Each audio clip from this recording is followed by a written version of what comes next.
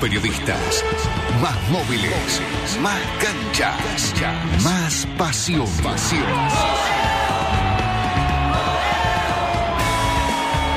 El Superfútbol de Mitre se llama Super Mitre Deportivo. Con Gabriel Anelo. Super Mitre Deportivo. Por Mitre.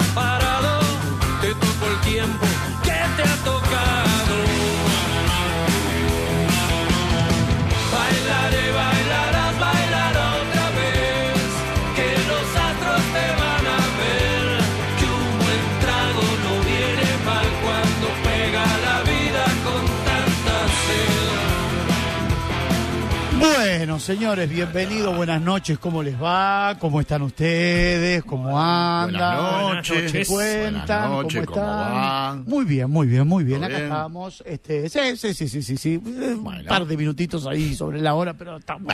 Bueno, este, venimos al cumpleaños, venimos al cumpleaños de Messi. ¿Cómo están con el cumpleaños de 15? no nos invitaron al cumpleaños de 15 de Messi.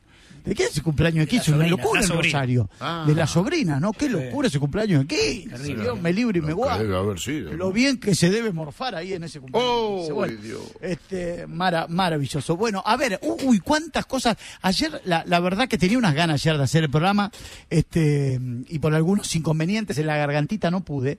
Eh, pero quiero arrancar diciendo, quiero, ahora nos vamos a meter en el tema Riquelme y la política de Boca, que yo les dije hace mucho tiempo, se va a venir un año se va a venir un año, pero todavía no arrancó el año y ya la política está este, de una manera tremenda y fortalecida en el mundo Boca. Va a ser un año tremendo. este, Creo que lo dijiste vos, este, lo, leí en YouTube, polaco. Eh, yo creo que vamos, creo que vamos camino a Riquelme Macri mano a mano, ambos candidatos a presidente. Sí, sí, sí. Yo creo que este, aunque me lo, aunque me lo nieguen, aunque me lo nieguen, creo que vamos camino Riquelme Macri mano a mano, este candidatos a presidente ambos. Ahora, si no fuesen candidatos a presidente, igual es Riquelme Macri, ¿eh? ¿eh? Es que yo creo, es que igual es Riquelme Macri. Esto, ya lo hemos discutido, ¿no? Me parece que Macri en una posición de vocal en la cola no es lo mismo que Riquelme candidato a presidente o a vicepresidente y Macri candidato a presidente o a vicepresidente. No, no, no, no, yo por lo menos, ¿eh? No, no, por pienso que, sea lo mismo, pero pierde peso. Sí, no, no, no creo que tenga, no creo que tenga la, la, a ver, Macri puede acompañar a Ibarra. Una cosa es Ibarra presidente, Macri vice, ¿no? Claro. Y Riquelme, Riquelme presidente y este o, o vicepresidente este con un candidato a presidente. Digo, ahí sí va a ser un Riquelme Macri. Ahora, si Macri me parece que va de vocal este, a la cola, me parece que no es lo mismo. Este es una, una percepción, ¿no? Este, No, lo que pasa que, a ver, en, en la gestión, ponele que después, si ponele que le toca ganar a Ibarra, Sí. que bueno, Macri participe de manera circunstancial. Ahora, que no, es que en la no. Olvídate que es la cara de Macri contra la cara de Riquelme. Sí, ¿eh? igual no, no creo, no. A ver, volvemos, volvemos a lo que decimos habitualmente. Lo que pasa es que nosotros a veces somos redundantes y me parece que por ahí este eh, eh, eh, aburrimos con lo que decimos, porque a veces decimos siempre lo mismo, pero en definitiva es nuestro pensamiento y hace mucho tiempo que estamos hablando de esto, ¿no? Eh, a mí me da la sensación que si es Riquelme con Ibarra, la diferencia es abismal es abismal, por más que Macri aparezca en la foto. Este, a ver, fíjense, por ejemplo, ¿no? Eh, Macri estuvo en la presentación de Ibarra. Sí. Se Sí, hizo sí, la zona, se hizo en la zona de torneos, ¿no? Acá cerquita. En San Telmo, en, en- en San Telmo, ¿no? Bueno, no había mucha gente. No. No había mucha gente. Y estuvo Mauricio Macri. Previo a un viaje a Estados Unidos o previo al viaje del Mundial, Mauricio Macri estuvo. Y Sí, no había sí, mucha sí. gente. Es verdad, muchos podrán decir, bueno, no convocamos a los socios, no fue masivo. Este, puede haber un montón de, de- de cuestiones. Y hoy lo que uno ve, no, no, no sé la cantidad de gente que hay, que hubo. Por este, el pero- molinete, por el molinete pasaron aproximadamente 6.500 personas, Bueno. eh, se estima 8.000 que hubo. Bueno, bueno.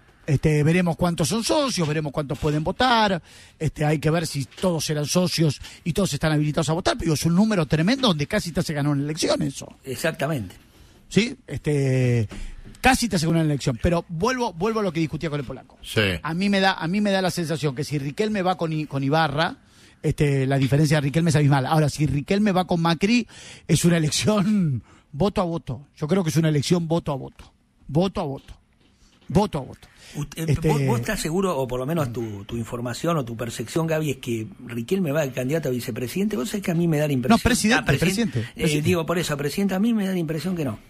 Que va a ir a por, vice. por información y por Bueno, intuición. pero, pero, pero me es parece- casi lo mismo, sí. Pero me parece que, por eso digo, me parece que es lo mismo ser presidente. A ver, va- vamos otra En vez. cuanto a la figura de Riquelme, sí, Me parece, exacto. me parece que es exactamente lo mismo, presidente o vicepresidente, ya sea Riquelme o ya sea Macri.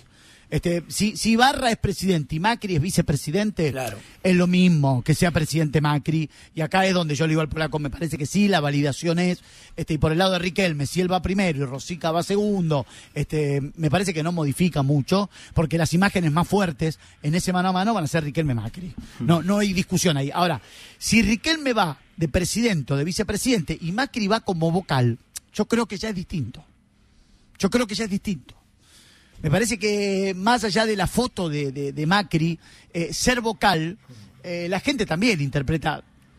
Después también hay otra cuestión en las elecciones. Claramente, aquel que está este, alineado a una línea política que es el riquelmismo y otra línea política que es el macrismo. Este, donde ¿no? esté Macri va a votar al, Este, al macrismo, digamos, el candidato de Macri. exa- exactamente, exactamente. Y después, y después está, y después está el tipo que quiere decir, che, yo lo quiero votar a Macri porque Macri fue el, el presidente, el mejor presidente de la historia de Boca. Y después algunos dirán, che, queremos votar a Riquelme porque Riquelme es el tipo que más ha ganado en la era Boca y es nuestro ídolo máximo y la gestión es buena.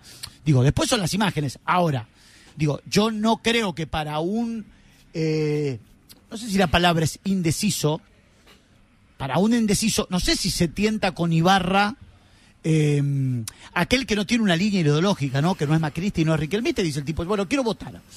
Y yo no sé si es tentador ir a votar Ibarra, que por ahí es una persona desconocida para, para el mundo Boca. Claro. Por eso, por eso yo digo que me parece que si Macri y Riquelme son los candidatos en la primera fila de la elección, y tenés una elección voto a voto.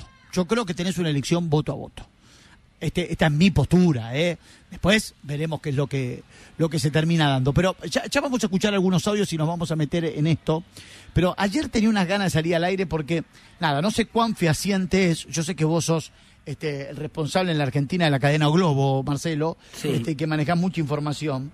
No, no sé qué, qué veracidad tiene esta posibilidad de Marcelo. Hoy, por ejemplo, fue tema de agenda mío todo el día. O sea, Ah, ¿sí? todo el día to- con, con- con quien me cruzaba, pero importa, tipos de la FIP, tipos de ARBA, tipos este, que estaban cortando el pasto en el fondo de casa, les preguntaba, che, ¿qué, qué veracidad hay de esto de que Marcelo Gallardo puede ser técnico de la selección de Brasil? ¿Viste? Y me miraba el tipo que cortaba el pasto y me decía, ¿me estás hablando en serio? Sí, necesito saberlo. Necesito saberlo. Este, y después le pregunté al tipo que estaba limpiando la pileta, le digo, escúchame, ¿vos tenés información de lo de...? El tipo me miraba abriendo los ojos, me dice, ¿no te me está hablando en serio? Me está cargando. Este, después tuve que ir al médico también. Fui al Ah, médico y le ah, pregunté al día médico. largo. La gente este, completa. le pregunté, le pregunté al médico, le digo, doctor. Escuche una cosa, doctor Eduardo López, por supuesto, ¿no? Le digo, doctor. Y capaz que te contesta, doctor López ¿Qué hay de cierto? ¿Qué me dice el doctor? Me dice, no lo sabe usted, Nelo, ¿quién lo va a saber? Le digo, no, yo la verdad que no tengo ni idea, pero digo, qué cosa hermosa sería, ¿no? Sí, vos Qué cosa que- maravillosa sería, ¿no? Mamita, mamita querida, qué cosa divina. Yo te juro, me voy a radicar a San Pablo. Eh, sí, sí, me voy a radicar a San Pablo. Hago un super mite un globo. Hago. Bueno, vamos, Sí, sí, yo, sí, yo te sí, acompaño. Sí, sí, sí, sí, sí, sí, no hay manera. No, pero ahora fuera de broma, fuera de broma. ¿Ustedes se imaginan a Gallardo dirigiendo la selección de Brasil? La primera imagen sería fuerte, Uf. sin Uf. dudas. Vos no te lo imaginás, Polaco. Vos, vos estás No, en modo, no. vos estás en, no. vos estás en modo No, no, Argentina, No, Bolivia, no, no, no, no, no, no, me lo imagino, no. Primero que, que a Brasil lo dirige un técnico argentino. Me parece raro. Primero eso. Y segundo, que no creo que Gallardo dé un paso así, más allá de lo que implica dirigir la selección de Brasil, que es una de las más importantes del mundo, ¿no? honor Vos- vos que- a ver, a ver, Pero por supuesto, nadie lo duda, pero no creo que dé ese paso porque mañana se cruza con Argentina y en una Copa América, en una Copa Mundial y este y, no, bueno, no, porque gran no, claro. Otra cosa es. Uruguay. Otra cosa es Uruguay. Con Brasil No, es más poderoso todavía. Yo, yo, yo, ¿sabés qué? ¿Vos cuándo tenés vacaciones, Pola? No, no, déjalo por. Yo, Déjalo, yo- no, déjalo yo 15, 20 ruego- días más. no, estás, estás en un modo, estás en un modo que, mira, te quiero, ¿Pero qué? estás en un ¿Qué modo, modo qué? pero estás diciendo que Gallardo, a ver, mañana lo llaman, por eso yo hablo de veracidad porque no sabemos cuánto Sí. hay veracidad. Yo creo que hay un morbo más grande. Digo, ver a Gallardo dirigiendo la selección de Brasil es algo, yo me te- se lo juro, eh, me voy a vivir a Brasil. Ah, pero a a tampoco te pide tanto, Me caso con Gallardo, una, me caso bueno. con una portuguesa, digo, tengo hijitos portugueses. Ah, si estás ya bien, ya no está. hagas- Bueno. está fenómeno. Este, Salvo que se quiera ir ella para digo, allá también. Digo, Sí. digo. En ese contexto, en ese contexto, ¿vos creés que Gallardo mañana dice sí, voy a ser el técnico de la selección de Brasil y mañana tendría temor de enfrentarse a la selección No, argentina yo no hablé de por eso. ganarle? Ni temor ni nada que se le parezca. Digo entonces? que sería una variable a considerar. Está el ofrecimiento, el plantel, la guita, todas las cuestiones que un técnico evalúa. Sí. Eh, y, y también esta, no me cabe duda, porque eso también se evalúa. No Ahora, me cabe mañana, duda. ma- te, te hago una pregunta. Mañana no sé si será decisivo o no después Esperá, en el balance. Mañana, maya- mañana Gallardo es convocado y solicitado para ser el técnico, por ejemplo, no sé, del Liverpool. ¿Qué sé Sí. Liverpool. Sí. Manchester. Sí. eh, Atlético Madrid, Barcelona. Sí. eh, no sé, ¿qué, qué- qué otro equipo? ¿Qué otro Ba- equipo? Bayern Múnich, qué sé yo, no sé si lo Bayern, nombraste. Bayern PSG. Múnich, PSG, bueno, es convocado Marcelo Gallardo Sí. y tiene la suerte de ser el campeón de la Champions. Gana la Champions. Sí. Gana la Champions. Y o casualidad, aquí en la Argentina y en Sudamérica, la final de la Copa Libertadores de América la gana River. Sí. Y o casualidad que en diciembre, en Marruecos, en Turquía, en Oslo, en Afganistán, donde toque, se va a jugar el Mundial de Clubes. Y la final la juega el PSG de Gallardo, por tomar el PSG, que equipo que dijiste vos, sí, sí. con el River de De Micheli. Sí. ¿Qué haría Gallardo? ¿Lo jugaría el partido porque está River del otro lado y podría ganarle? Y el sentimiento y todo lo que eso No, significa. no, porque el escenario es totalmente diferente. Si él dirigiera o dirigiese el PSG, y si tocara jugar con River, que es muy probable que puede, puede suceder, claramente no hay una rivalidad ahí, no hay una, no son clásicos rivales. No, es una diferencia absoluta. Eh, El PSG no existe en la, vida, en la vida de River y, y a la inversa. En Sí, cambio, Brasil-Argentina, hay una pica, Sí, pero hay acá, una... acá voy a estar con Gaby. Gallardo No hoy te está, piden tanto no, tampoco, hoy, está mucho más identificado con River que con Argentina. Está Que bien, con Argentina selección, digo. pero vuelvo a lo mismo. Primero que no veo un técnico argentino dirigiendo a Brasil, así Ah, bueno. como no veo un técnico brasileño dirigiendo a Argentina, y eso que hubo grandes son- ese es el técnicos. de la Pará, CBF hoy, esos ¿eh? son, esos son Ah, tus, esos son, esos son tus prejuicios y los prejuicios del fútbol No, prejuicio argentino. no, realidades son. pero no, no la veo. Esos son los prejuicios, esos son los prejuicios del fútbol argentino que a la selección. A ver, yo te quiero decir una cosa, una sola cosa. Pero es la realidad, Gaby, no, no, no es en prejuicio, Brasil ¿eh? no es tan grave, en, en Brasil no es tan grave como en Argentina que un técnico no sea este, de nacionalidad de Brasil para dirigir su selección. Acá sí, acá sí, acá parece que un extranjero, este, aunque un extranjero salió campeón del mundo, ¿no? Este, a, a la vuelta de la esquina, em, pueda dirigir a la selección argentina. Fue sutil. No, A ver, eh, voy a recordar algo, porque para aquellos que son más jóvenes, eh, hubo eh, entrenadores brasileños que ejercieron una influencia notable y extraordinaria en el fútbol argentino. Osvaldo Brandao con Independiente, por ejemplo. Tim, que formó este, los matadores Tim, de San Tim, Lorenzo. los de Valentín. Claro, Tim, Tim, el de la, el de la frazada corta este, o larga. Y este, ya te voy a decir el otro que, que ahora. Este, y Didi en River. Ahí está. Didi que sacó a Alonso, que puso en primera. Alonso, JJ, Merlo. O sea que hay una escuela brasileña de los 60, 70 de una gran influencia en el fútbol argentino. Gran influencia. O sea que no sería este, nada. Sería un hecho histórico. Pero, ahora, igualmente yo no lo veo a Tite dirigiendo a la selección argentina. No, no que es acabo- prejuicio, es que te realidad. acabo- es que te Ah. acabo de decir que me parece que para los argentinos es mucho más grave que un técnico de otra nacionalidad dirija en el fútbol argentino que para los de Brasil que vaya un técnico argentino a dirigir.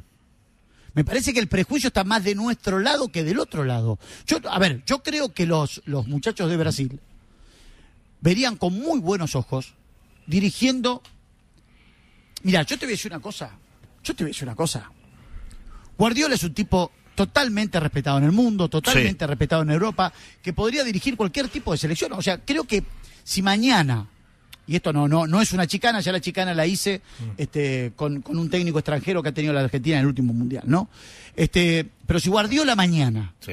quisiera dirigir la selección argentina y la selección argentina se quedara sin técnico porque no hay acuerdo entre Tapia y Scaloni, Sí. nadie diría nada. Porque viene Guardiola a dirigir la selección Eh, argentina. sí, eh, un tenés tipo- razón. Sería tipo- un caso pará, pará, excepcional, Déjame, eh. Bueno, un caso excepcional. Sería un caso- Como un, un- como un caso excepcional porque estamos hablando de uno de los técnicos Claro. más reconocidos y más importantes del mundo. ¿Sí? Ahora, yo creo que Gallardo, para lo que es Guardiola en Europa y en el mundo, es para Sudamérica. El respeto que ha concebido Marcelo Gallardo en Sudamérica, lo que significa Gallardo para los jugadores sudamericanos, es muy fuerte.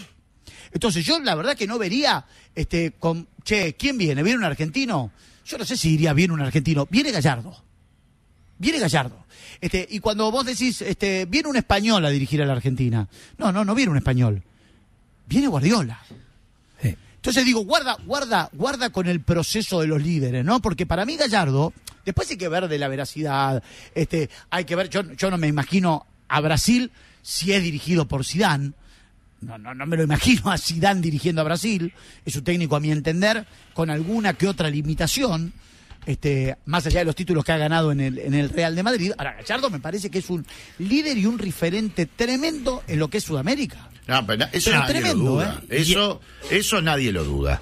No, Nadie duda de eso, de la condición y cualidad que tiene Gallardo para dirigir Brasil o la selección que quiera. Argentina también.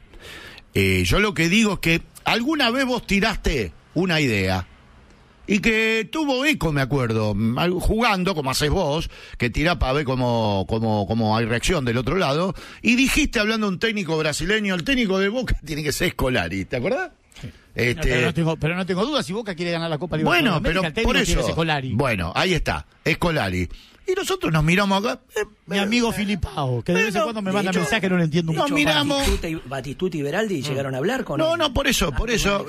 bueno, Colari eh, enfrentó muchas veces a Boca. Bueno, hay una rivalidad de- desde el respeto.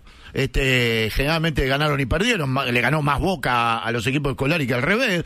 Pero digo, lo veo más eh, posible ahora. Más una viable. selección argentina que Colari sea candidato para la selección argentina.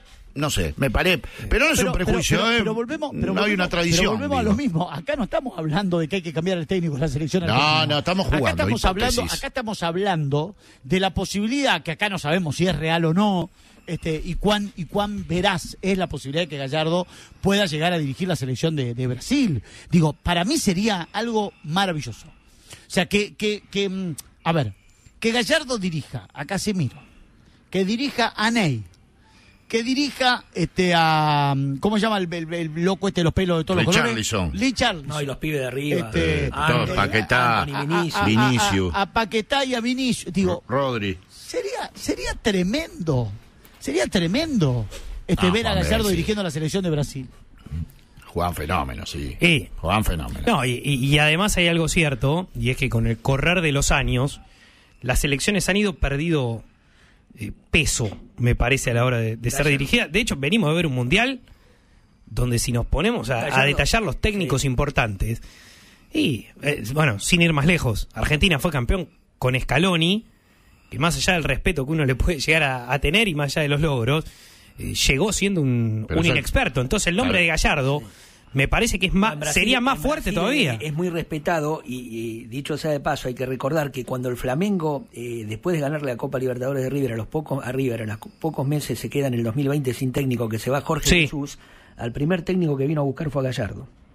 El, El Flamengo. Sí, pero ahí, Pero- ahí tenés otra cosa. Le- no, no, ya sé. Ahí pero- tenés otra pero digo, cosa. eso habla del respeto que hay en Sí, Brasil pero por, por Gallardo. supuesto, ¿cómo no? Bueno, ¿Te acuerdas del técnico de Palmeiras, que no es brasileño, Sí. pero igual que, de- que hace pero los Palmeiras? hinchas del Flamengo, del Flamengo, los hinchas del nervioso, Palmeira. está nervioso. Y no, no, y los hinchas del se me cruzó los equipos. Y los hinchas del Mineiro, por supuesto, conocen plenamente a Gallardo y lo llevarían ya, mañana. Sí. A- ayer. No ves a Gallardo con el buzo verde amarillo y se te frunce el que lo cote, ¿no? Te ¿Qué frunce. problema hay? Tranquilo. Te bailamos la salsa, no te- sé la te- salsa. No, Te no. puedo decir Ah, algo. No, no, te hacemos, no. te hacemos No, la cuatro quesos, sí. la rosada. te hacemos- No, no, no, no, no caigas otra vez, no profundices la confusión en, que a veces te, te- se te, las cosas que se te pero, ver, cruzan. perdóname, no Ahora querés que ninguna- Gallardo sea técnico de Brasil para que No, le gane no, a no. Argentina. No, no, no. No, pará, no, no, pará, pará, pará, pará. Pará, pará. Tranquilo. Ya tenés, esa fabulación.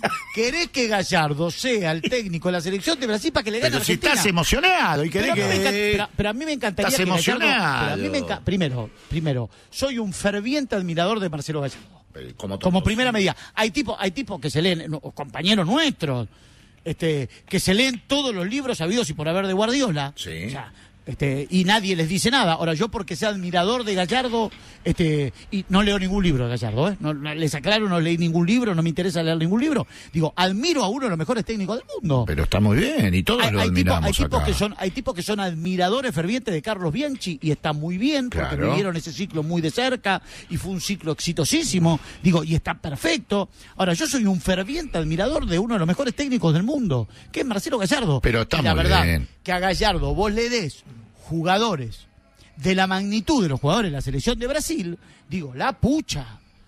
¿Vos te lo imaginás a Gallardo dirigiendo a estos tipos? Pero yo me imagino a Gallardo dirigiendo a estos tipos y plantele, qué sé yo, como todos los clubes que vos mencionaste, que son los más importantes del mundo. Bueno, está bien. No me ¿Sabés qué cabe duda, no me ¿Sabés cabe pasa, duda, Eduardo? que también tienen Que de esos- selecciones. está bien, que de esos planteles, que de esos planteles, desde que él dejó de ser el técnico de River, no ha tenido ninguna oferta. Probablemente el día de mañana las tenga, pero hoy no las Sí. tuvo. Y por eso yo hablo de la veracidad, si es real lo de Brasil o no, porque digo, a ver, que te den como técnico extranjero dirigir la selección de Brasil, con lo que eso significa, digo, la pucha.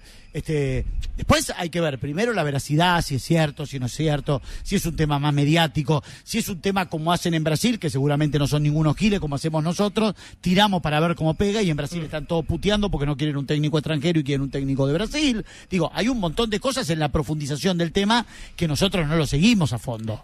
¿Sí? Ahora, la primera oferta parecería que tiene Gallardo desde su salida a River, desde su salida de River, después veremos si es oficial, si no es oficial, si es veraz, si no es veraz, es dirigir la selección de Brasil. La pucha. La pucha. Hubo, aunque sea un tanteo. Bueno, no lo sé. Yo vos- vos no qué lo sabés, sé. Yo lo- la información Un tanteo. es que es un gran dilema eh, de la CBF, que es la Confederación Brasileña de Fútbol, qué camino toman. Si eligen un técnico extranjero o un técnico brasileño. L'Equipe publicó eh, hace un día esto que marca Gaby, los nombres de Zidane, Gallardo y Pochettino como tres posibilidades. En algún momento había sonado también, ¿se acuerdan? Guardiola hace un tiempo. Eh, a mí lo que me cuentan desde Brasil, más allá del respeto, la admiración, como decía antes, que tienen por Gallardo, que es un nombre que seduce mucho, que si se inclinan por un técnico local es para el público argentino un desconocido total. El principal candidato a ser hoy la- el técnico de la selección de Brasil. Es alguien de 48 años que dirigió este año al Fluminense. Su nombre es Fernando Diniz. No ganó ningún Brasileirao, por ejemplo, pero es alguien que llamó mucho la atención en esta última temporada por la forma de juego de Fluminense y todo, y muy respetado en, en el ámbito de Brasil y por los jugadores. En enero van a tomar la decisión. Yo te digo, si los candidatos son Dinis o Gallardo. Siguiendo un poco este juego, Sí, sí, sí. Eh, escúchame, este, eh, eh, agregale un poco más. Si los candidatos son Sergio Denis, este, que en paz descanse, ¿no? Claro. Este, si, si es Sergio, Vamos, Sergio. si es si es Pochettino y si es Gallardo, digo, muchachos, déjese de joder. ¿no? Porque Pochettino demostró ser un cachivache. Lo digo con mucho respeto y con mucho cariño y con mucho amor. Este, eh, eh, Pochettino demostró ser un cachivache. Le dieron todo para ser el campeón mundial del mundo, del universo. Este, y, y- y se le desmadró un equipo de PlayStation. Este, entonces digo, si es Gallardo, Pochettino y Sergio Denis, muchachos, dejémonos de bromar, ¿no? Eh, Mitri forma primero, 031, y volvemos con todo el tema Riquelme y su candidatura. Ya volvemos. Mitre informa primero. Las noticias más importantes del día cada media hora. Cielo ligeramente nublado en Buenos Aires, 24 grados 5 décimos la temperatura. Voy a ser un poquito grosera, lo dijo Cristina Kirchner cuando en un acto en Avellaneda sugirió que un diputado de Bullrich debería ser desaforado. Recién escuchaba que hablabas del diputado este, Milman, ¿no? Y voy a ser un poquito grosera. Pero me acuerdo que durante la pandemia, cuando las sesiones se hacían por Zoom, ¿se acuerdan? Echaron a un diputado, voy a ser un poquito grosera, dije, ¿no? Dije que sí, ¿no? Porque le besaba, no sé, una teta a la novia. Lo echaron. Era un acto impropio, era un acto... no, no estoy justificando nada, por favor. Mañana Clarín dice, Cristina dijo que estaba bien besarle eh, a la novia. No, no, no, no. Simplemente para graficar, lo echaron.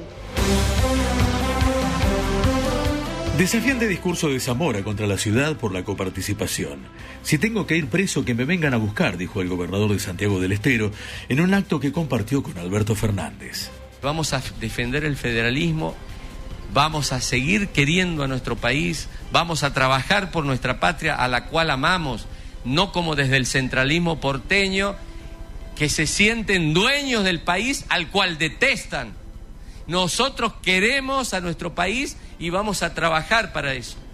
Y estamos trabajando muchos gobernadores unidos en ese sentido. Así que cuando escuchemos ese centralismo mediático porteño, que me han denunciado, nada más que por incitar, fíjense, estoy denunciado por una porteña, una candidata porteña y otro candidato porteño y qué sé yo, de que me van a meter preso seguramente, no importa, que me vengan a buscar, yo no me voy a escapar al Uruguay como el único prófugo que tienen. Aquí estoy. 24 grados 5 décimos la temperatura en Buenos Aires, 49% la humedad. Mitre informa primero. Seguí informado todo el día en radiomitre.com.ar.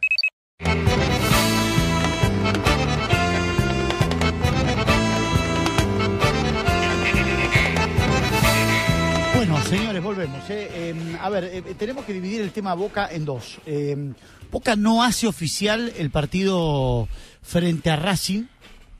Este, este partido que se va a jugar en Abu Dhabi, ¿no? Sí, el 20, el Este, viernes que- 20 que- jugarían. Que, tenía que jugar, que tenía que jugar con Patronato de Paraná, Exacto. ¿no? Pero en Abu Dhabi dijeron, ¿quién? Ah, traigan, traigan a River si pueden. Le dijeron, no, no.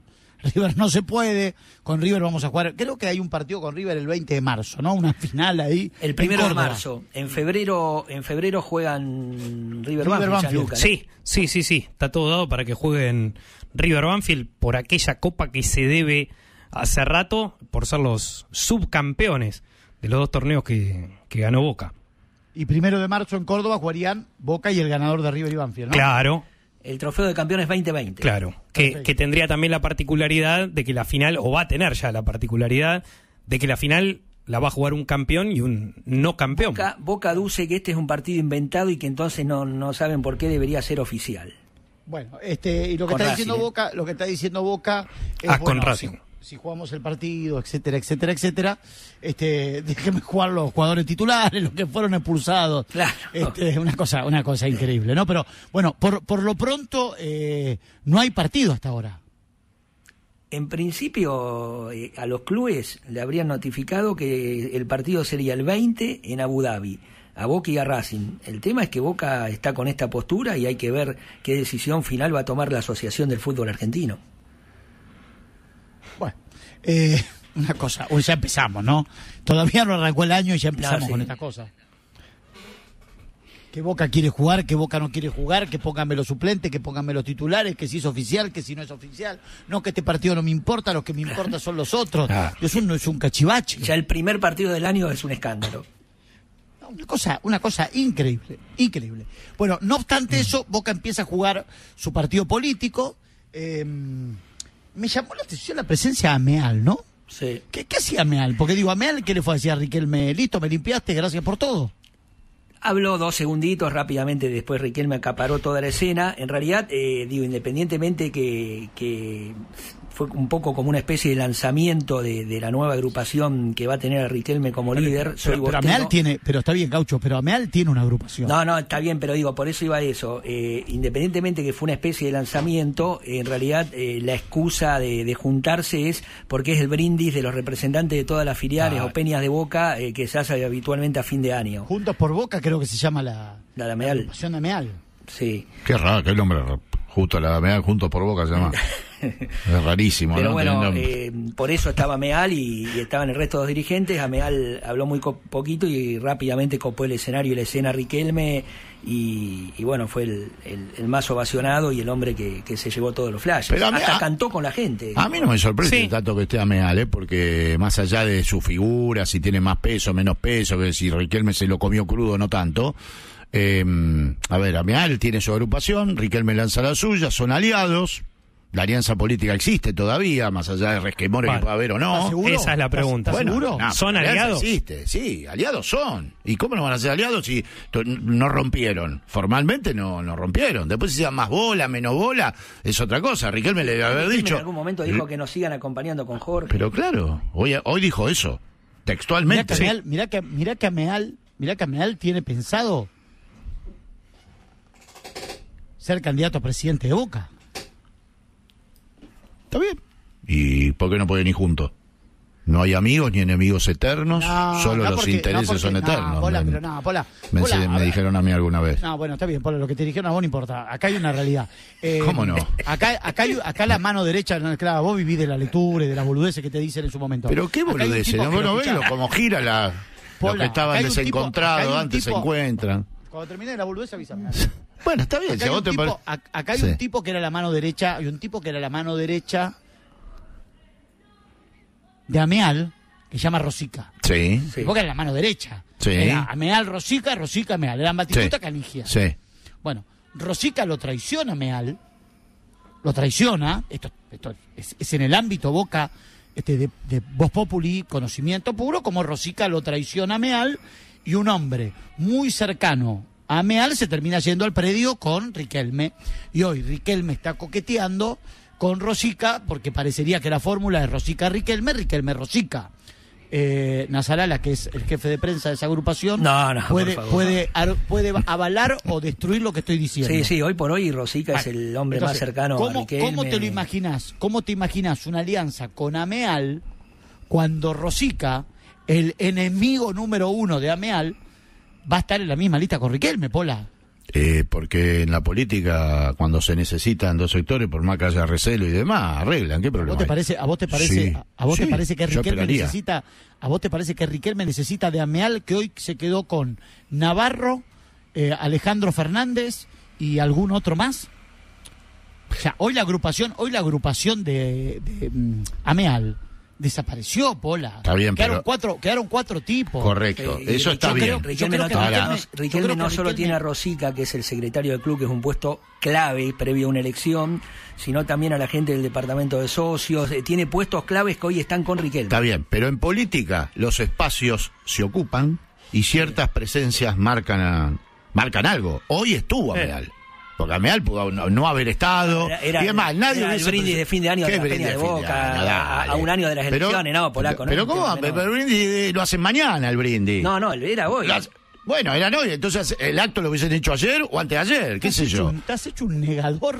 No, negador, Pero- no, pero Gaby, pero me extraña, me extraña un tipo como vos. Este, la, la, la realidad te lo Pero ¿sabés demuestra. te en los clubes. Pero, pero, Polaco, vos hablás Sí. con los tipos, vos hablás con estos tipos off the record. Sí, ¿Sabés he hablado con estos- y. Bueno, ¿sabés lo que te dicen estos tipos? Sí.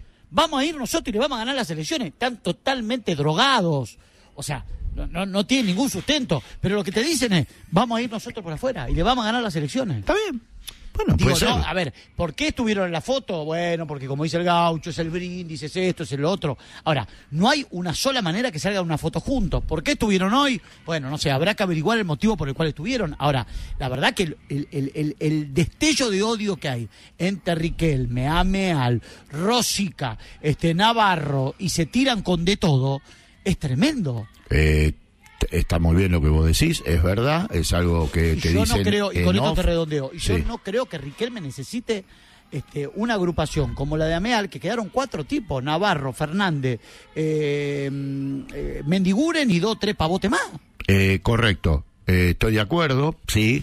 Lo que hoy parece imposible, en política mañana a la vuelta de la esquina puede modificarse el Eh, mapa. eh, Y hay esa parte es- Sí, infinidad de ejemplos. Y la presencia de Ameal, porque por más brindis que haya, Riquelme, Bueno, que estaba lanzando su agrupación. ¿qué tiene que ver? Le dice, no subí, no subí. ¿O vos te crees que Riquelme? ¿Quién te cree que decide si sube o no sube? Si está o no está. Yo ¿Qué creo que esta parte Más allá de que cierta, pudo ¿eh? haber sido un gesto de buena voluntad, ahora, aún la gente, los gestos de buena voluntad también tienen una lectura política. No, y, y todo es un mensaje. Y Todo más mensaje. en época ya de campaña rumbo a las elecciones. Puede ser un mensaje, vení, como para demostrar que no está, no está todo roto, lo que sí está todo roto, como dice Gaby. Son mensajes Ah, ¿viste? que ser, hay que decodificar. Y, y también puede ser una retirada elegante. ¿eh? puede ser una ret- todo eso puede ser. Puede ser una retirada elegante, digo, Ah, puede ser también en, eh, figurar unidos hasta el final. Quizá Ameal se corra de, de las próximas elecciones o, Yo estoy o más veremos. cerca del pensamiento de Gaby y si Riquelme logra constituir esta agrupación Soy Bostero, que hoy eh, estaban terminando de juntar la- las firmas que se necesitan para presentar formalmente en comisión directiva, creo que es un 10% del padrón electoral que se necesita, eh, va a tener un poder y una autonomía que no va a necesitar de ninguna agrupación y nada para para ser el líder y, y presentarse. Ahora, dan los tiempos, esto, esto, esto este, estatutariamente lo desconozco, Gaucho.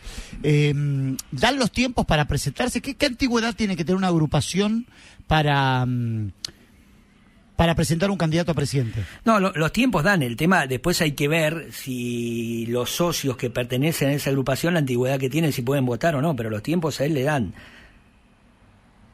¿No necesita una agrupación tener dos años? Tengo entendido que no, ¿eh? Bueno, yo no, no lo desconozco esto, ¿eh? Lo desconozco. No, no, tengo entendido que no. Después, obviamente, hay que ver si todos los socios que pertenecen a esa agrupación tienen cierta antigüedad para, para poder emitir sufragio el año que viene. Pero ya que tenga su propia agrupación con un respaldo Es de un más de hecho ocho, político con, muy con un respaldo de más de 8.000 firmas, Es un hecho político muy poder importante. Político que hasta, hasta acá, más allá del nombre y todo lo que tiene, no lo supuesto. tenía. Sí, es una herramienta, eh, la herramienta electoral propia, Sí. que le va a dar autonomía para decidir, sí, claro. O sea, esa, esa herramienta que, digamos, formal, que aún no tenía. La pregunta acá desde afuera es, ¿le alcanza a Riquelme con los riquelmistas? Digo, en una elección. Y Hay, que- hay un, un núcleo duro, obviamente, que es tiene que Riquelme por nombre propio. No, pero nunca te alcanza bueno. solamente con el núcleo duro. No, Entonces, bueno, pero, tiene- pero no va a ser solamente la agrupación de Claro. Riquelme. Hoy había muchas agrupaciones que No, sin duda. a Riquelme. eh, y hace poco se lo vio en una foto con alguien que Gaby vos conocés muy bien y sabés cómo maneja el tema de elecciones en Boca, eh, sentado al lado del Coti Nocilia, que con su agrupación sí. también ha volcado muchas elecciones. No solamente en Boca, eh, en No. River también. Yo, yo ¿sabés qué hago? Yo, yo hago un número. Yo hago un número más fácil en, en este tema de las elecciones. Riquelme obtuvo el 51% de, de los votos, ¿no? Sí. En las últimas elecciones. Mm. Y, y la diferencia la tuvo eh, Cristian Gribaudo y el Tano Beraldi, Exactamente. ¿no? El 49, Sí. dividido dos. Cuando alguien gestiona, ya por el solo hecho de gestionar, por el solo hecho de gestionar, por el solo hecho de estar, este, baja la imagen. Sí, Baja. sí. Eh, la pregunta es, hoy, de la cantidad de gente que va a votar, ¿qué número avala Román?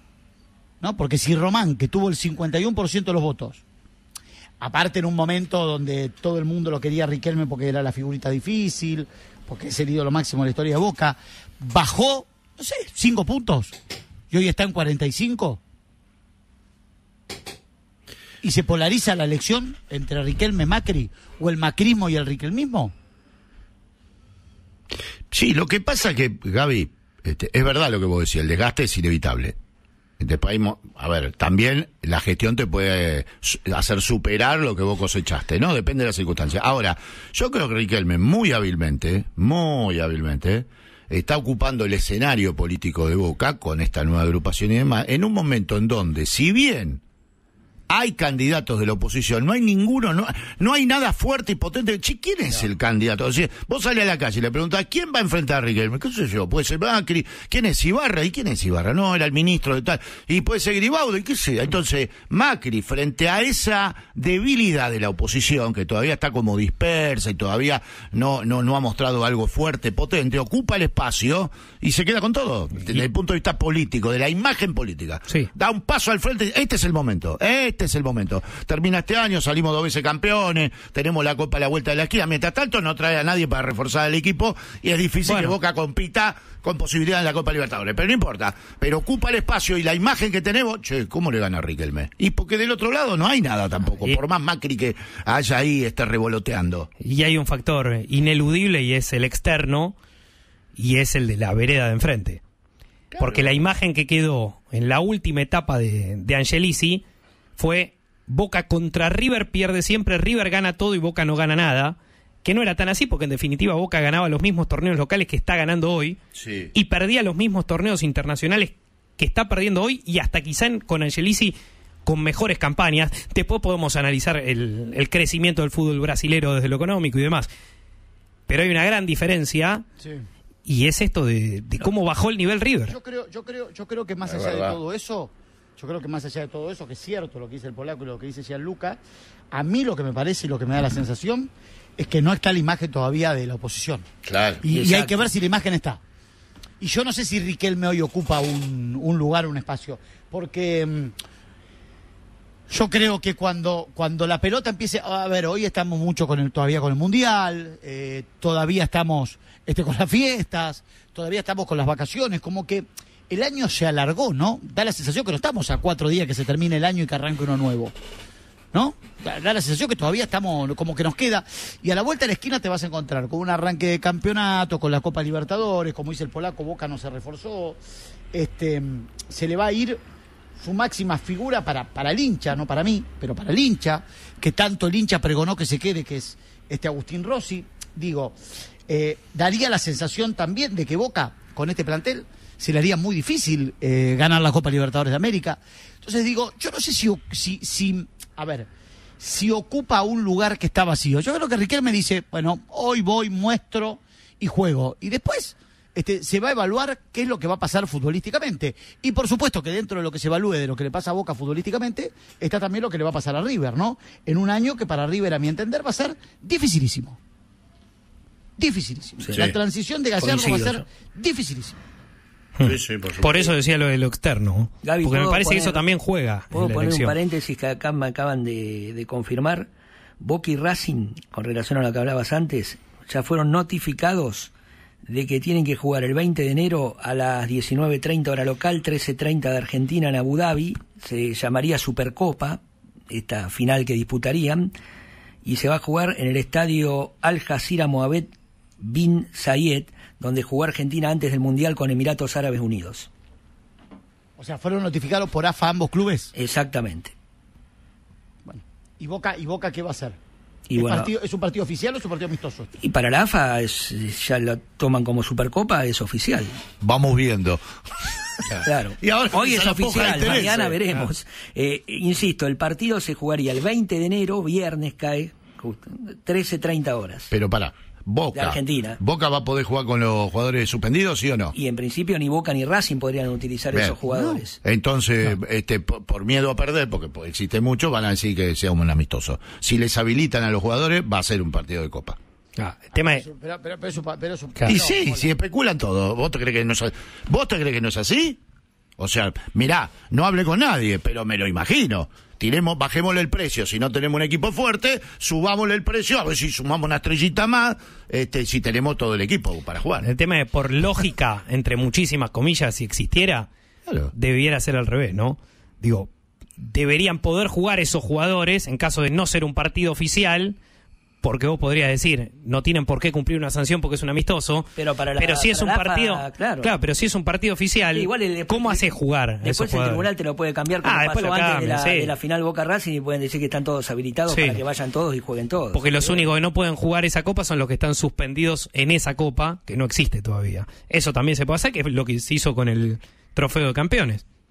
Claro. Escuchamos un chiquitín a Riquelme, ¿eh? agradeciendo a la gente. Le agradeció a la gente a Riquelme, ¿eh? vamos a escucharlo, a ver. Yo me hice hincha de este club gracias a mi papá, que de chiquito me hizo bostero. Yo soñaba con jugar en la bombonera. Y hace tres años que la bombonera volvió a ser la cancha más linda del mundo. Nuestros jugadores están recontra agradecidos al recibimiento que le dan ustedes cada domingo, cada miércoles. Es una fiesta en nuestra casa. Y eso por culpa de ustedes, es por culpa de los muchachos de atrás del arco, a quien también les agradezco por cómo se están comportando, por cómo están cuidando nuestro club. Es maravilloso venir los miércoles y los domingos a la bombonera. Muchísimas gracias, los quiero mucho. Ojalá que podamos estar muchísimos años juntos y que me ayuden, por favor. Este año ha sido muy bueno. Podemos decir de que hemos ganado los dos torneos que jugamos, que tenemos la suerte de contar con jugadores recontra buenos, con un plantel impresionante, que solamente quiere competir, que quiere ganar. Hoy los muchachos volvieron a la pretemporada y se están preparando para que el año que viene pueda ser igual de bueno que este. Nos quedan cuatro días. Hasta el 31 de diciembre tenemos para disfrutar de que somos el mejor equipo del país. A partir del 1 de enero intentaremos volver a competir, intentaremos volver a dar pelea por cada torneo que jugamos. Sabemos que va a ser difícil, que va a ser duro, pero confiamos en el plantel que tenemos, en los jugadores que tenemos y confiamos principalmente en todos ustedes, en que cada partido en nuestra casa nos tienen que ayudar a ser cada día más fuertes. Solamente decirles que, esta es su casa, que la disfruten mucho, que yo soy feliz estando al lado de ustedes y ojalá que podamos estar juntos muchísimos años. Los quiero mucho. Felicidades. Bueno, bueno, bueno, bueno. Ahí estaba, ahí estaba Riquelme, ¿no? Este, no, no entendí por qué de, lo- de lo- la- la- hace tres años la bombonera está más linda. Y porque debe Porque ser. son ellos gobierno, ¿no? Exactamente, la Dulce. No porque hayan pintado. Claro. Claro. Claro, por eso no, no lo entendí, porque digamos, a ver, si hay un, un, un, un déficit que ha tenido esta gestión, y por ahí no tanto Riquelme, ¿no? Sino el, el expresidente Jorge Amonameal, eh, fue el tema de la bombonera. ¿No? La reforma de la bombonera, el, crecimiento de capacidad de la bombonera. Digo, fue un déficit muy grande, fue un tema de, campaña muy fuerte. Y digamos, en eso, esta gestión eh, ha sido un fiasco, porque lo único que han hecho fue pintarla la cancha de Boca, ¿no? Este, en eso han fallado. Y después creo que es la primera vez donde Riquelme, hablando de los muchachos atrás del arco, es la primera vez que se eh, involucra con la barra. Siempre, siempre Riquelme, siempre Riquelme estuvo enfrentado a la barra, siempre tuvo este, diferencias con la barra. Bueno, aquí da la sensación que es la primera vez donde Riquelme tiene un acercamiento a la barra, ¿no? Este, Le queremos agradecer a los muchachos atrás del arco. Y por cómo se comporta. Sí, fue un mensaje raro, te diría, ¿eh? Clarísimo, ¿por qué raro? Le dijo a los muchachos. No, pero Por un lado le agradecerlo dije- públicamente. Suena, suena raro de Riquelme que, Eso, como dice. Gaby, en la sí. época de jugador, es más. De hecho- parte parte de, de la división que había en el plantel en su momento de aquel plantel de Bianchi era ese, que, Claro. que Riquelme estaba distanciado y no colaboraba con la barra y, y otros compañeros emblemáticos de él sí. Claro, por eso digo, uno en esa famosa pelea, a Riquelme lo ponía del lado de enfrente de... Son otros roles. Claro. Son otros roles hoy. Ahora, más allá de eso, le dice, les agradezco que se porten bien, como también. O sea, muchachos, se porten bien. Se- le, le destaco que Sí, se portan sí, bien. sí. Ahora, es verdad que Es el gracias cuando estaban ahí los muchachos. ¿Había alguno, Gaucho? No, no lo sé, no lo sé. Ah. Y bueno, pues, Probablemente son sí, porque la mayoría pero son ¿Todos podían socios. entrar o no? ¿Que había derecho a admisión? No. Probablemente no, no. Ah, Debe haber estado alguno. Alguno sí. debe haber habido. Seguramente, Gaby. Sí, no lo sé, no lo sé, no, no, no, no, ni, ni, lo- ni siquiera lo seguí porque lo transmitió creo que el canal de, de YouTube, no, no lo seguí por ahí, digo, no sé, este, había fotos de Sí, negro justo Bulos, los- creo, el negro Bulos creo que noticieros. tuvo, ¿no? El negro estuvo, sí, estuvo cubriéndolo. Pero digo, justo los dos noticieros deportivos que lo estaban Estuvo cubriendo a las haciendo- nueve cortaron y metieron programación del mundial y no se pudo ver en directo. Yo también lo. ¿Estuvo haciendo ahí en El in negro- situ sí. la cobertura periodística? Fue para. No, el negro puta Sí, fue uno de, es, es uno de los fieles colaboradores del periodismo que estuvo ahí. Ah, mira qué creo que- bien. El negro creo que justo firma. Sí, sí, estaba con. Ah, junto firma, Con las fotocopias pero- del- pero Estaba con la sí. fotocopia buscando. Llegando a las 8000. Sí, sí, sí, sí, sí, sí, sí. Qué ¿Eh? locura, ¿no? Eh, Ahí estaba los muchachos. Claro. Ahí estaba con algunos. Sí, fue el que manejaba la... Yo creo que cuando él se conté. refiere a los muchachos estaba incluido. Claro, estaba, Estaba ahí. estaba ahí. Yo creo, que el je- yo creo que el negro es el jefe de los muchachos. El negro rulo, ¿viste? El negro rulo. A ver, eh, antes, antes este, le pedí que fueran 40 mil para ganar, ahora les pido que seamos 50 o 55 mil. ¿Eh? Ya Riquelme le dice, muchachos, necesito 50 o 50, necesito, Riquelme está diciendo, necesito 10 mil o 15 mil más de los que me votaron la primera vez, mirá. Yo funciono igual que ustedes. Yo veo a cada uno de ustedes con la camiseta de nuestro club, con el gorro de nuestro club, con el pantaloncito de nuestro club y, y es lo que soñaba, ¿no? Gracias a ustedes, gracias al presidente que me fue a buscar a mi casa hace tres años, he tenido la, la oportunidad de, de sentarme a hablar con mis hijos. Agustín es el culpable de que, de que yo tuve que volver al club y yo hace muchos años le dije que ustedes estaban todos locos. De verdad que están todos locos. Es decir, a ver,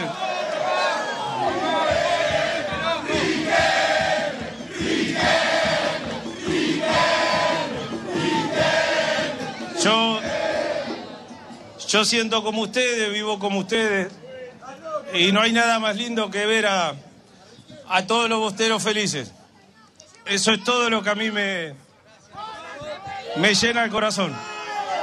Hace tres años que, que he vuelto a mi casa, hace tres años que estoy acá por culpa de todos ustedes. Dentro de un año vamos a tener elecciones nuevamente. Así que yo le he pedido hace tres años atrás que teníamos que ser 40 mil para poder ganar. En la que viene no tengo duda que vamos a hacer 50, 55, porque somos demasiados los hinchas de nuestro club.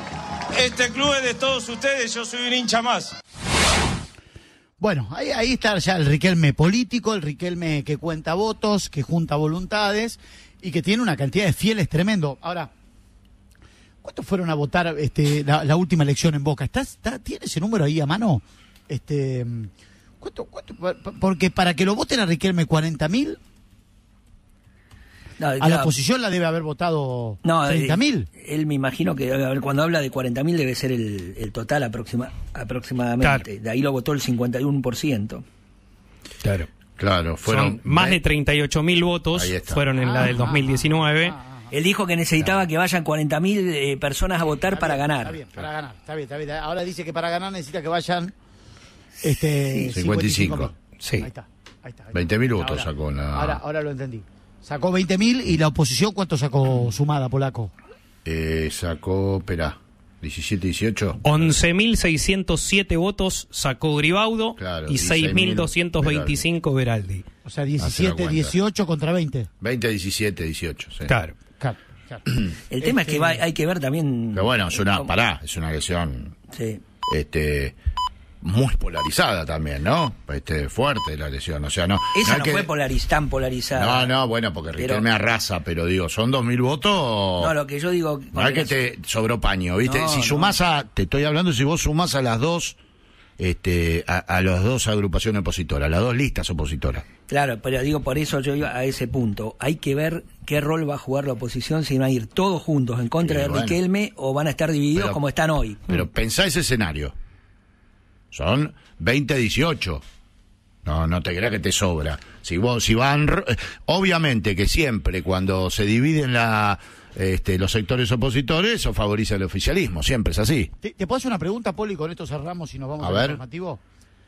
¿Vos creés que Riquelme, en el contexto de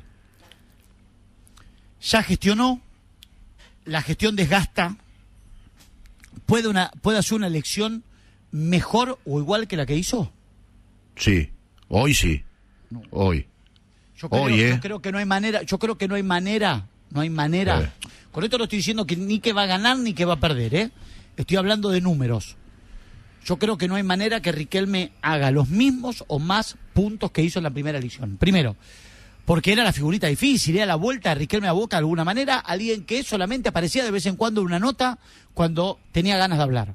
Era un hombre muy difícil, donde coqueteó con las tres listas, donde es el ídolo máximo en la historia de Boca. O sea, era el momento del pico de ola Riquelme, sacó 51%, y hoy Riquelme no, no, no creo que llegue a esos números, ¿eh? Yo creo que Porque hay puede- gente, porque hay gente que ha votado a Riquelme que hoy dice yo no lo voto. ¿Sí? Puede ser, ¿eh? Puede ser que Sí, alguno dude. Hay que ver también porque. Y creo que hay otros que No pueden llegar a hablando- pero te votarlo, ¿eh? hablando- pero te estoy hablando, te estoy hablando mínimamente un 5%, no te estoy diciendo un 100, un 5%. Sí. Digo, por- por- porque no gobernó como quería, porque lo votó y no le gustó. O sea, Pero seguramente, eso siempre va a haber un margen de, no cambio, creo, pero... por eso yo no creo que Riquelme tenga la misma capacidad de votos este, que tuvo. Después hay que ver quién es la imagen de, de- de la oposición. Este, cómo juega la cómo juega la oposición, si aparece alguna Claro. lista colectora, como se dice, porque por ahí Ameal este, la juega de malo y Ameal termina siendo una colectora, no para sacarle voto a Riquelme, sino para sacarle voto a la, a la oposición. digo. Tal cual. Digamos, después hay que ver cómo, cómo juegan las demás listas, ¿no? Sí. eh, quién es la imagen que está en el otro lado. Este, pero yo no creo que Riquelme tenga el mismo caudal de votos este, que tuvo en la, en la primera, Bueno. donde era la, la oleada Riquelme. Hay, bueno, hay un tipo que para mí, como en la otra elección, va a volver a ser muy importante a propósito de esto que estás diciendo. Veraldi. Claro, hay que ver cómo juega Veraldi. ¿Cómo juega el Tano Veraldi? Si juega con este Macri, con quien estaba desilusionado, ¿se acuerdan ustedes? Lo dijo acá. Y Andrés Ibarra, cuando él también no tiene objetivos y hoy- hoy pretensiones. por lo menos en la cabeza de Beraldi no estaría a ser segundo de Ibarra. Bueno, Mañana no sé. bueno, por eso, política, veremos. Ah, pasa Pero- que, lo que pasa es que yo lo quiero, lo quiero al Tano. Me gustaría hablar con el Tano, ¿no? Claro, el. Tano es fundamental, Ah, el, ¿eh? Tano, el Tano, el Tano, que estuvo en varias elecciones y que las perdió. ¿Volvería a ser candidato a presidente? Bueno, es todo un tema. Ahora, si se presenta como en la última, el escenario, no creo que cambie demasiado. ¿eh? No, no, no, no. No, va a cambiar creo- demasiado a porque ver, creo- le va a sacar más votos. Sí. Ponele que rescate algunos Yo de Riquelme, pero. que el único que le pelea una elección a Riquelme, que no quiere decir que le pelee que le gane, ¿eh? que le pelee, que esté en Claro. partido, es Mauricio Macri. Sí. Yo pienso lo mismo. Si no, Macri. si no va Macri Si no, no si no, no hay manera. tiene Claro, pero tiene está bien, claro. tenés razón, Por Eso es verdad. todos. Ahora, aún en ese escenario, si el Tano Veraldi, que tiene un trabajo político este, enorme en Boca y que tracciona votos por sí mismo, Sí, que pueden, 16,41. claro, que pueden no no alcanzarle para ganar, pero sí para restarle a otro. En Son este los que te a Macri, definen una elección Te pareja. definen la elección, claro, por eso. No, pero, pero pará, Pola. Veraldi es Sí, muy sí. importante. No, por eso, yo lo que te quiero decir es, si la oposición, a ver, si juega Macri, si juega Macri de presidente y Veraldi va en una tercera lista, digo, no hay manera. No hay manera. Acá estamos hablando, acá estamos hablando de un sentido común de que vaya Riquelme por su lista, después si Ameal quiere ser de colector o no quiere ser de colector, es un tema de Ameal, y si va Macri del otro lado. Ahora, si aparece Veraldi y le dice, bueno, yo voy candidato a presidente y va Macri por otro lado, dividen votos, le facilitan el trabajo a Riquelme. Tal cual. Por O sea, eso. no, no hay manera, no. Acá estamos hablando de una elección bien polarizada, Macri, Eh, bueno. Riquelme, Riquelme, Macri, como dijimos en el comienzo del programa. Sí, sí. Mitri informa primero y venimos, dale. Mitre informa primero. Las noticias más importantes del día cada media hora. Cielo ligeramente nublado en la madrugada de Buenos Aires, 24 grados y medio la temperatura. Carrió le respondió a la vicepresidente. Ahora dudo de que Cristina Kirchner sea abogada, dijo la fundadora de la coalición cívica ARI. La señora es una ignorante del derecho. Yo siempre supe que era una ignorante del derecho, pero ahora lo tengo que decir. Ni de académica, ni de abogada tiene nada. No El control abogada, de usted. constitucionalidad de las leyes en la Argentina significa que los jueces pueden decir que una ley contraría la Constitución. Ahora, esto se da en el marco de un proceso. Cuando en el marco de ese proceso hay graves presunciones de que la ley es inconstitucional, se puede dictar lo que se llama una medida cautelar, que la señora no puede desconocer aunque no sea abogada y no haya ejercido la profesión, que es suspender la ley hasta tanto se pronuncie definitivamente el tribunal en el sentido de su constitucionalidad o inconstitucionalidad. Minutos antes, en un acto en Avellaneda junto a Ferraresi y Kisilov y en lo que fue su reaparición pública tras la condena por corrupción en la causa vialidad, la vicepresidente ahora dice que no renuncia a ser candidata, sino que hay proscripción. Y acá tampoco hay autoexclusión. Vamos a hablar clarito. Hay proscripción. Jorge, el día que yo hablé, no estaba enojada. No es que en el fervor de un discurso dije algo, no, no, no. Ese procedimiento, esa estrategia de proscripción no es nueva. Yo creo que la comenzaron a pergeñar al día siguiente de aquel 9 de diciembre en el que nos despedimos en la plaza y cantaban Volveremos. Tiempo. Se indica para hoy miércoles 28 de diciembre en Capital Federal una temperatura mínima estimada en 19 grados, la máxima en 30, cielo parcialmente nublado con tormentas aisladas hacia la tarde. 24 grados 5 décimos la temperatura, 49% la humedad. Mitre informa primero. Seguí informado todo el día en radiomitre.com.ar.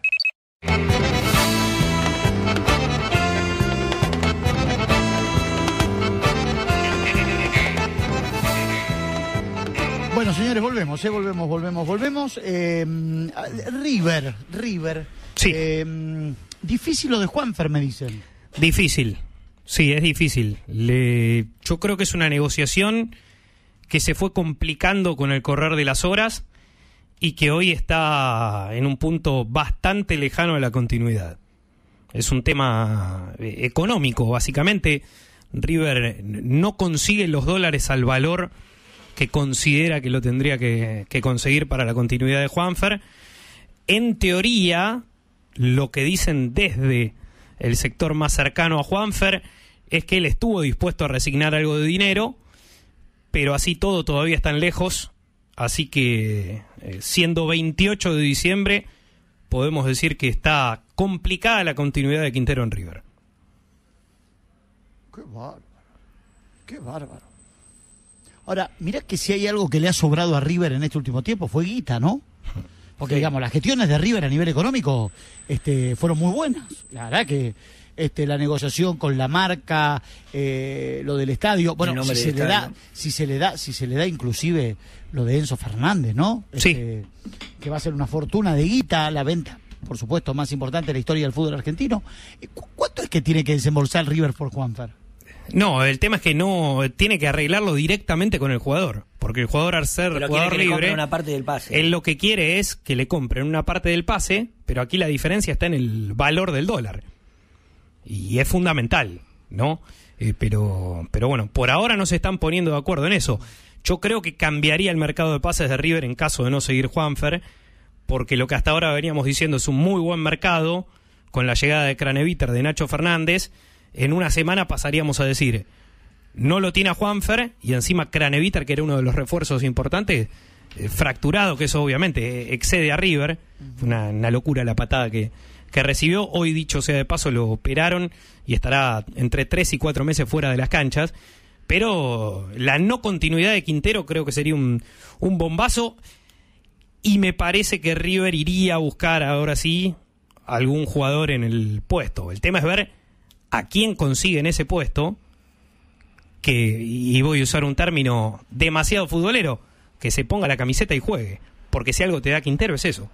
Sí, lo que pasa que me parece que hay algo, si River va y compra, no sé, el 20% del pase, ponele. Sí. 15, 20%, que son fangote de guita igual. Sí. Y más y con el dólar blue y todo eso. Eh, ¿Cómo lo revendes después? Por más que la rompan River. ¿A quién se lo vendes? ¿Cómo recuperas esa plata? Porque esa ecuación se hace también, más allá del enorme riesgo que hay cuando vos compras un jugador, un jugador, a ver, que te que, que vos haces una gran inversión y después no tenés cómo revenderlo porque no te rindió, o al revés, uno que traes por poca plata y después te da un beneficio extraordinario, fútbol, ¿no? Pero digo, ¿a dónde? Vos sabés que es una guita que después no, no la recuperás, ¿no? Más allá de esto que dice Gaby, que es verdad, River le está entrando plata a rolete, ¿no? Y si venden ahora en San Fernando en 120 millones de euros, ¿cuánto agarra? De 30. Si lo venden 120 30%. millones. de- no, eh, 30 millones, 25%. Ah, bueno, bueno, igual, es una Igualmente. ¿no? Es un- Ah, es un número, pero Sí. enorme. Y lo que se está hablando en Europa es que en teoría hay clubes que quieren pagar incluso más que la cláusula Si se va ahora. si se va ahora.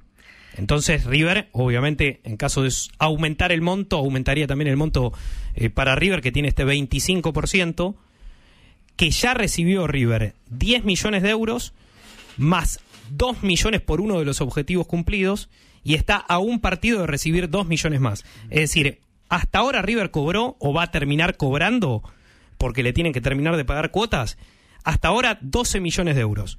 Si juega el viernes, juega el Benfica. Si juega por lo menos 45 minutos, ya hasta ahora llevaría River 14 millones de euros cobrados, más 30 millones de mínimo si lo venden por el por la cláusula. claro. O sea, estaríamos hablando hoy de una de un monto total de 44 millones de euros. No, es una locura. No, es una locura. Y, y- y lo más loco es pensar ¿Qué? lo rápido que se ejecutaría esta venta. Porque River lo vendió hace un par de meses. El tema es que jugó en un nivel altísimo. Todavía lleva 24 partidos jugados nomás en Benfica, pero está en un nivel altísimo. Demostró que no le pesa la camiseta. Jugó bien en Champions League y además hizo un mundial donde se ganó el puesto y terminó siendo no solo titular, sino campeón. Te digo que Gaby es una. Más allá que lo de, lo Enzo Fernández, incomparable por lo vertiginoso, por todo lo que ha pasado y esto que está contando Gianluca. Este, 44, no, a ver, no hay, no hay posibilidad que haya un jugador que se, se arrime del fútbol argentino en una, eh, haciendo esa cotización, ¿no? Ese ingreso de dinero a cualquier club. Muy buena la estrategia. No, no, ahí está. venderlo. Creo que se elabora una nueva estrategia. Vos vendés a Europa objetivos. Sí, depende del equipo que lo vendés, porque sabés que el Benfica. Es Después un- lo vende. Si, si el jugador anda bien en Europa, es Después un lo de vende. paso a un club Claro. superior, a una liga superior. Está bien, pero- Darwin Núñez lo pagaron menos de 10 millones de dólares y en un año lo vendieron en 100 Claro. al Liverpool. Está bien, pero y no, no sé el equipo uruguayo cuánto No, no, se hizo la misma pero estrategia, te quiero pero, decir que el Benfica es de hacer estas cosas. De, pero esto de vender River, eh, yo creo que le abre la posibilidad a otros equipos argentinos cuando vendan jugadores por objetivo. Y si después anda bien, agarran un dinero que inesperado, impensado, ¿no? Sin dudas. Sin duda. Es que River, hoy, en caso de ejecutarse, supongamos, Nah, es una- dentro de dos semanas la cláusula. River ganaría el doble de dinero por la venta del Benfica que por su venta propia. Es decir, por la reventa River embolsa- eh, embolsaría el doble del dinero que por la venta directa. Impresionante. El, el 25% pasaría a tener el doble de valor que el otro 75%. Qué bárbaro, ¿no? No, es impactante, impactante. Es un- Qué bárbaro. Es un qué, rayo qué este locura, pibe. Qué locura. Qué Qué locura. locura. Eh, ¿y, cuánto, y, cuánto, ¿Y cuánto es la diferencia por Juanfer? Sigo con lo mismo. Yo no me quedo Claro, con eso es raro, ¿no? Y bueno, a- ahí está el problema, ¿no? Porque si encima lo llega a vender eh, y River llega a tener ese dinero, como todos sabemos en las negociaciones, cuanto más plata saben que tenés, Más te pide. más te piden. Es una cuestión lógica. Y me parece que eso también puede llegar a, a Esto, esto influir. es Juanfer, esto es Juanfer y sus representantes, ¿no? Directamente. Sí, sí, porque no eh, es jugador libre. O va a ser dentro de un par de días jugador libre. A ver, eh, eh, eh, quiero marcar esto. Cuando Juanfer este, estaba en el club chino eran 50 mil dólares, eh, perdón, 2 millones de dólares por el 50% del pase, 4 millones de dólares por el 100% del pase, ¿no? Sí. Eh, ¿Hoy es menos que eso? Mm, Yo creo que puede rondar, por lo que averigüé, puede rondar la cifra del 50%, pero lo que quieren desde el entorno de Quintero es que esos 2 millones, vamos a poner un monto, 2 millones de dólares, sean 2 millones de dólares. ¿Sí? Y que no sean 2 millones de Dólar dólares billete, especificados.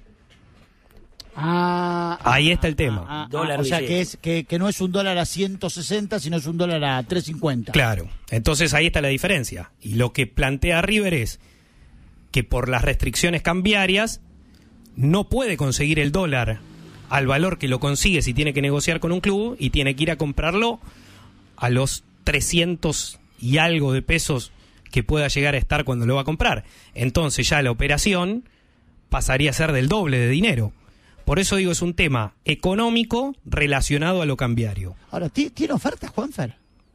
Que yo sepa, había algún interés desde Estados Unidos. De hecho, él en algún momento casi que se había despedido de, de su gente cercana, dando a entender que iba a seguir su carrera en Estados Unidos. Pero, pero por ahora eso está en, en stand-by.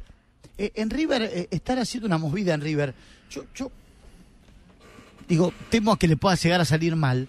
Están yendo al lado emotivo de Micheli, ¿no? Digo, está perfecto, la- el- creo que su mujer ha llegado a la Argentina, ha traído a sus hijos, este, han publicado las fotos. Yo, yo entiendo todo esto, me parece, me parece un tipo excepcional de Michelis, creo que ojalá le vaya bien, no, no, no puedo decir es un técnico con una enorme capacidad, porque sinceramente si digo esto estoy mintiendo, porque no vi un solo partido en la reserva del Bayern Múnich. La verdad que no vi ni uno solo, no, no voy a mentir.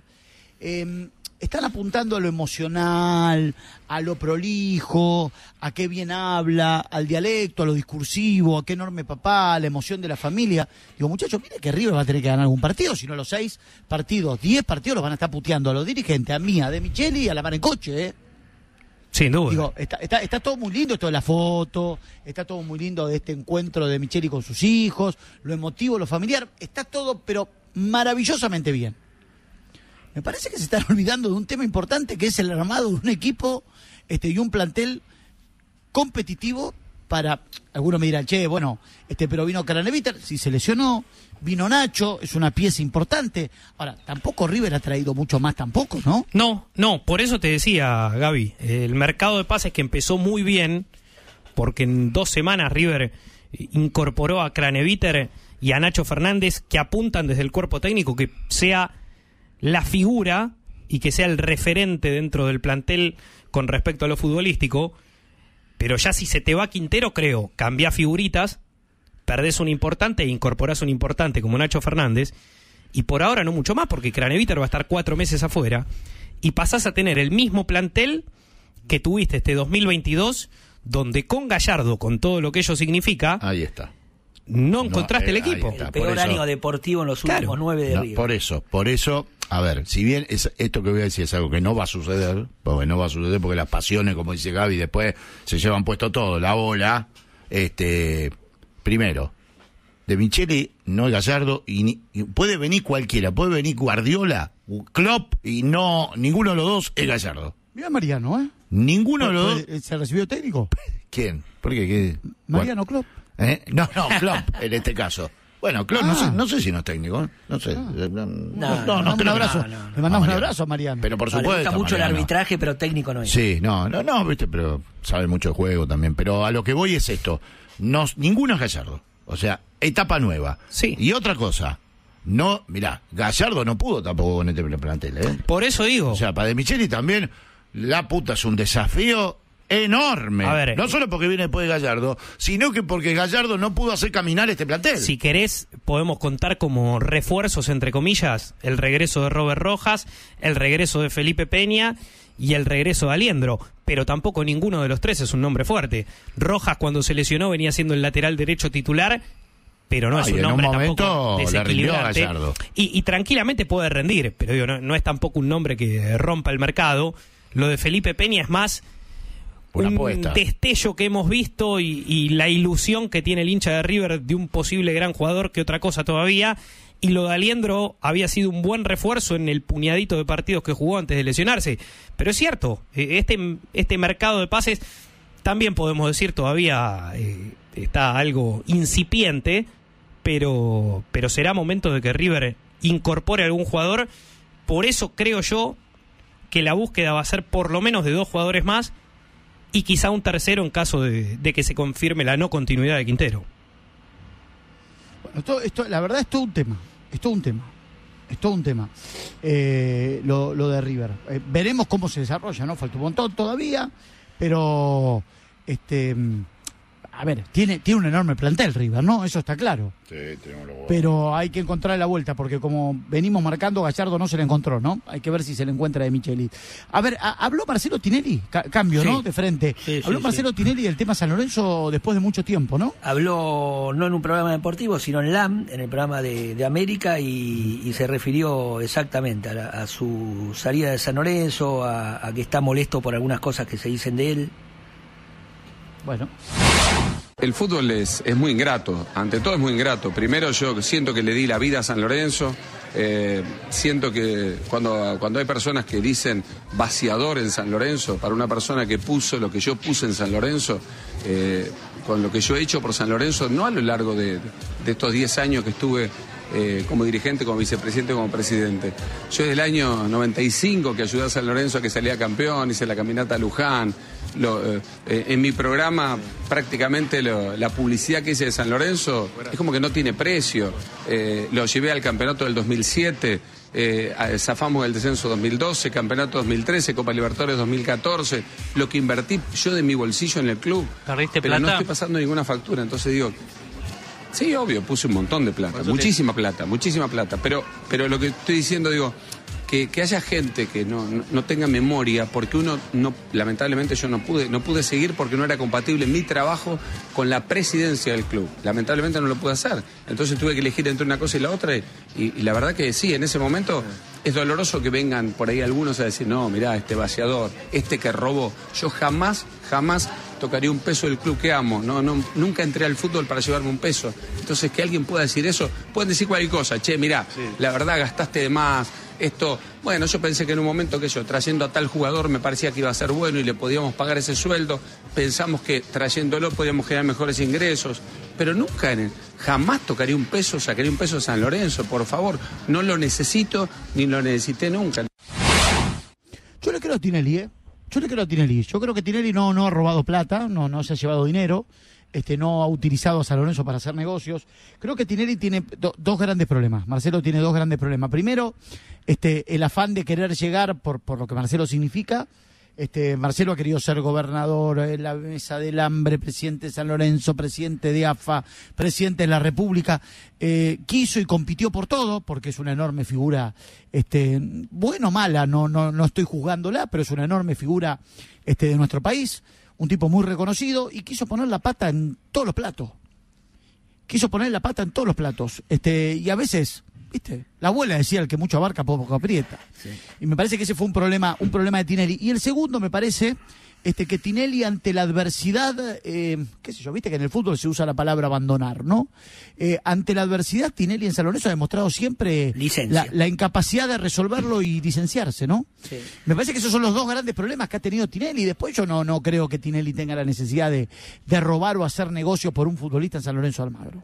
No, no, no, no, no creo. Este, lo conozco a Marcelo, no, no voy a poner las manos en el fuego por él, este, ni mucho menos, digamos, este, pero no, no, no, no lo veo un tipo que haya tenido la necesidad de robar en San Lorenzo, este, defraudar a San Lorenzo, que ha cometido errores como cometo yo, este, sí, lo, lo, lo, lo sé.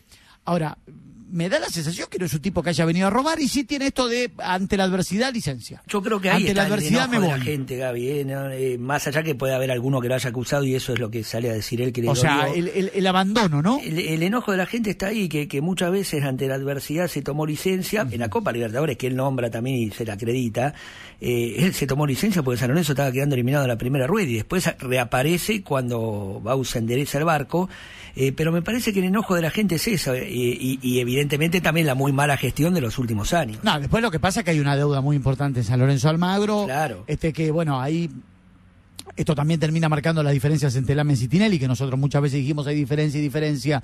Muchos decían sí, muchos decían no. Bueno, las diferencias este, están, ocurren, existen, son. Este, y después cada uno se tendrá que hacer cargo de quién este, ha generado estas deudas este, enormes en San Lorenzo Almagro, ¿no? Este, en San Lorenzo, en Independiente, casi que son hermanos mellizos, Independiente y San Lorenzo, en cómo han quedado los clubes devastados, ¿no? Sí, En lo económico. más allá de muchas diferencias, pero fue algo muy parecido. Una gran primera gestión Hmm. en Independiente de, de Moyano y compañía, tal- eh, fundamentalmente en lo económico y también en lo deportivo, porque lo ascendieron, ganaron la Sudamericana y, y el segundo mandato fue de terror. Pero está bueno que Tinelli hable de esto, está bueno. Es interesante que hable de estos temas, porque me parece que el mundo del fútbol se debe una respuesta. Insisto, para mí Tinelli ha metido la pata dos veces. Eh, la primera vez metió la pata en querer estar en todos lados. Eh, presidente de la República, gobernador, ministro, mesa del hambre, presidente de San Lorenzo, presidente de AFA, conductor del Supermitre Deportivo, su programa, digo, porque te quería estar en todos lados. Claro, todo, Y quería todo. bueno, bueno, bueno. Y no se puede estar en todas No se partes. puede, no se puede estar en todas partes, no se puede ocupar. A veces uno puede estar en un lugar, por supuesto que Marcelo tendrá mucha mayor capacidad que nosotros. Digo, yo a veces no puedo estar en dos lugares a la vez. No puedo estar acá en la radio y en la empresa, algo, algo hago mal. Este, insisto, por ahí Marcelo este, tiene una capacidad mayor a la nuestra, pero no, no, no es lo conveniente. Y ha quedado demostrado que tampoco le fue auspicioso a él. Desde su imagen y desde los resultados también, ¿no? Sí. desde la imagen y de los resultados. Porque a él se lo ha cuestionado desde la imagen y también de cómo ha dejado San Lorenzo Almagro. Este, y después esto de, de- de irse, de irse y abandonar en los momentos que por ahí San Lorenzo más lo necesitó, ¿no? Porque los momentos que, que- San Lorenzo más necesitó a Tinelli, Tinelli estaba licenciado, no estaba, ¿no? Ese, ese fue un tema también. Eh, una 26, tanda, y ya se viene Fabri López este, con de la noche a la mañana. Juanca está de vacaciones, así que vamos con, con Fabricio. Ale.